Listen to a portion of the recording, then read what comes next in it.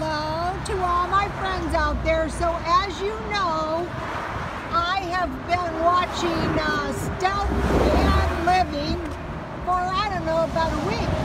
And so now everywhere I go, I see cars.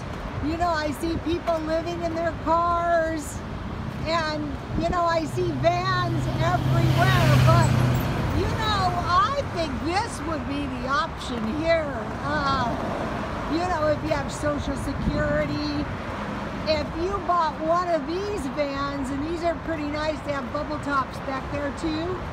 And so, this is Nissan in El Cajon.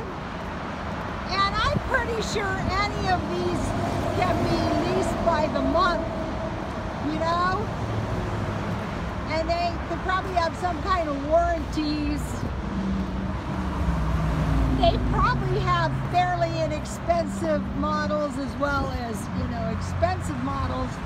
But uh, now, you know, uh, I'm checking out all the vans.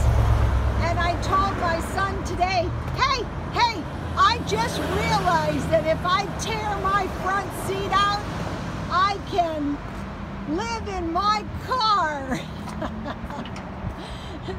You know those children, those parents that like to terrorize their children? So, okay, I'm still on the way to the casino, so God bless you all.